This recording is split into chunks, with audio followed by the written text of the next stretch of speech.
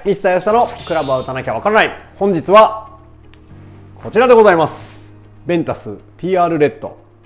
はい。えっ、と、藤倉のですね、営業の Y さんという方がですね、絶対にレッドはやりませんって言ってたのに出しました。嘘つき。と僕は言いたいです。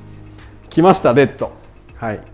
で、えー、まあ、もともとベンタスレッドは、えー、と日本に入ってないです。ただ TR シリーズからは、えー、とレッドが来ました。でもともとこの TR レッドって、えーアダム・スコットが使っていたりとか、えーまあ、女子ツアーでいうと青木瀬令奈選手が使ってたりとかですね。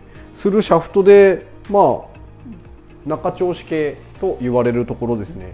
であの比較対象でいうと NX スピーダーの NX とかが、まあ、被るんではないかというところがあるんですがじゃあこの TR レッドがどう違うのかこれも打ちながら検証していきたいと思います、はい。お願いします、お願いします。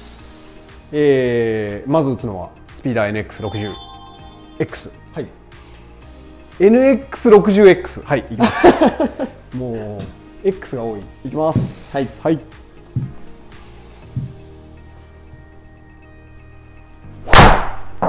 はい苦手。苦手めちゃくちゃ手元硬い。よいしょ。ただツアーでの特に女子のツアーでの使用率がもう異常。異常ですよね。異常。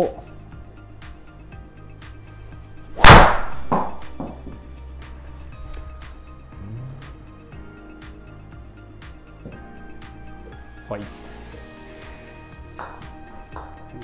まあえー、と手元硬いです。先端しっかりしてます。で、えー中間部だけしなるんですけどハーフウェイダウンからのこうしなり戻ってくる感じっていうのはちょっとやっぱりスピーダーという名前がついてるだけあってハーフウェイダウンからのラッて押してくる感じっていうのはしっかりありますっていう感じのシャフトです。はい。はい、はい。ベンタス TR レッドでございます。はい、60X はい。こちらを打っていきたいと思います。はい。めちゃくちゃこの辺の手元の剛性感が高いんですけどこの見えます？このでっかいこう折り込みのこう繊維のこう大きいこういう spread tow fabric っていうらしいんですけど手元にこう柄がこう透けてるのがあるんですけどこれを一番外に巻いてることによってこの合成感を出してますっていうのがこのシャフトの特徴です。で結構赤って先調子系って言われることもあるんですけどそれは多分この硬さなんじゃないのかなと勝手に思ってます、はい。はい、ただこのヘッドとの色合いは完璧です、はい、打っていきたいと思います。はい。はい。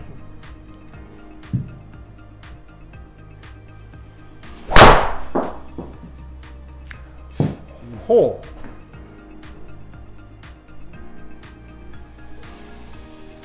ほうこれいい意味で本当に棒です。あのーこうやると何もしないって言ったと思うんですけどこれ全部が何もしないです。だからどこがしなる？みたいな感じを僕はこれ正直感じないです。何もしないでそのままストーンっていう感じです。あこれはこれでちょっと感覚的に新しいほうほうほう。だからあのすごくあ今ひ左行ったとかいうのをめちゃくちゃ感じやすいんですよ。走る感じとかもないです。ないです。本当に何もしないので逆にだからタイミングは僕は取りにくいです。すごくしなってる感じもしないのでこうやってなんかうまいこと逃がして打ってる方がめちゃくちゃ楽は楽ですね。なんかドローとかを打ちに行くと何もしなくてパコってボールがこう捕まりすぎちゃったりするのでうまいことこう自分でタイムラグを作ってポヨーンって逃がしてあげるとずっとなんか綺麗にフェードを打ち続けられそうな感じのイメージのシャフトですね。もしくはなんかまっすぐストレートにドカンって大きいライン出しみたいなショットの仕方ですね。いきます。こういう感じのショットを打つとすごくいい気がします。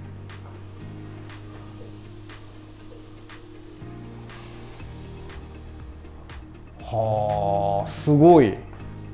他にはない感覚ですなんか感覚的になんでしょうね。めっちゃだからこうイメージとすると見た目はすごいなんかこうガチッとこうバンってこう叩いてくれそうな色合いでこう見せるにもかかわらず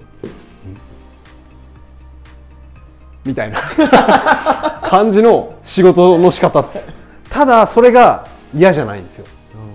はい。それが味付けのうまさというかあのーなんだろう仕事しないからって全然しなさすぎてうわ棒で全然ダメじゃんっていう感じの振りづらさが逆にないのがめちゃくちゃその味付けのうまさだと思うんですけどこういう味付けの仕方ってしかも US じゃないですか。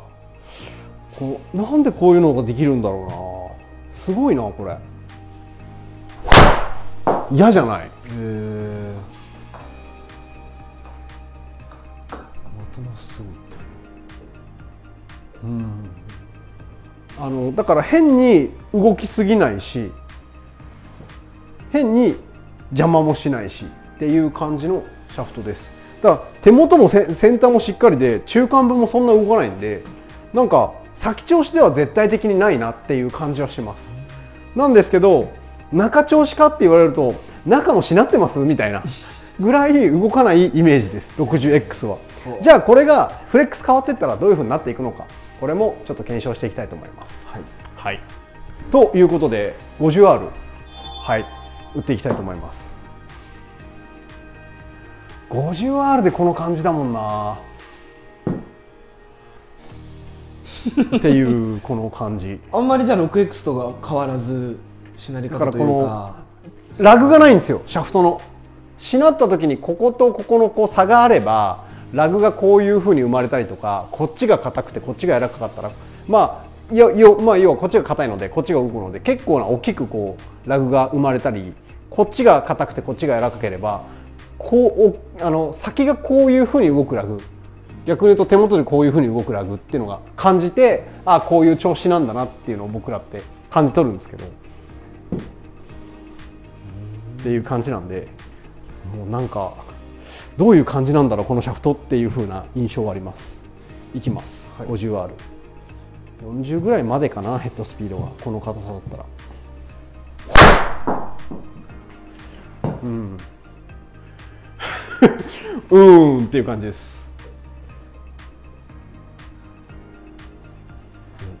うん。なんだろう。そうか。はあ。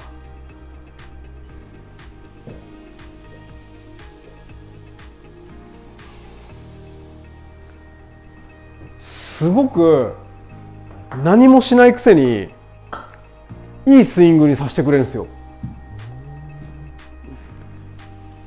何にもしないくせにダメなスイングははいダメ。いいスイングの時ははい OK っていうちゃんと球筋にそれを反映してくれるシャフトです。ああうまくなると思いますこういうシャフト使うと。ただ振りやすい振りにくいはまた別の話です。僕はめっちゃ振りにくいと思うんですよこれ。どういう方が振りやすいと感じそうですか？えもうこれ多分切り返しめっちゃ速くて、はい、こうもうタイムラグいりません。パンパンって打っちゃう感じの、えー選手で言ったら、えーまあ、臼井麗華選手とか、はい。好きかなっていう気がするんですよね。はい 7X です。はいいきます、はい、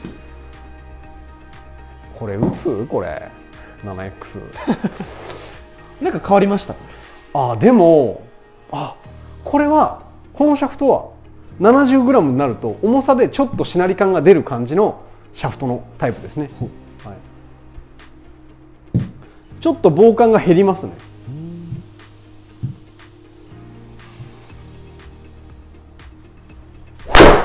あ打ちやすい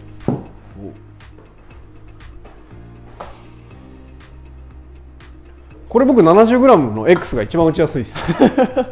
やっぱしなりが重さによって出てそうですね、ね、はい、重さに助けてもらえる感じがします。距離も出てるし。なんか振っていける一番。きた。重さがこれだけあってくれればもうキャリーも出てくれるし、うんうん、いけ！惜しい 惜しいでもヘッドスピードも出していけるし、あのーまあ、タイムラグもしっかりとこの重さによってタイムラグを作れるので、このぐらい、あのー重くなってくれたらちょっとこうしなり感が出るかなっていう感じのシャフトでございました。TR レッド、まああの NX と比べるとその走り感っていうのが全然ないです。はい、この私の中で言うとちょっとこのハーフウェイダウンからの嫌な走り感っていうのが出ちゃうんですけどそれがない分本当に何もしないでうんってくるんでふんじゃなくてふんってくるんでそのこの嫌な走り感っていうのが NX で感じててでもやっぱり藤倉さんのしなり感しなり戻り感は好きだよっていう方はこの TR レッドにするとその嫌な走り感がないのかなと。でまた NX グリーンと比べちゃうと NX グリーンってまあもともとはブルーの手元をちょっと緩くしてる感じなのでその手元の緩さっていうのはこれないんですよ。はい、結構逆に手元はすごいしっかりしてます。だからタイムラグは本当に逆に言うと NX はタイムラグを作ってるシャフトこれは作らないシャフトなのでその作らない感じが好きな方っていうのもあのある一定数必ずいるので食わず嫌いをせずに打ってほしいシャフトであります。ベンタス TR レッド。非常にあのこう、まあ、マスに対してっていうシャフトではないんですけれども、えー絶対に好きな人がいる。あのハマると抜けれないシャフトだと思います。是非皆さん打ってみてください。ありがとうございました。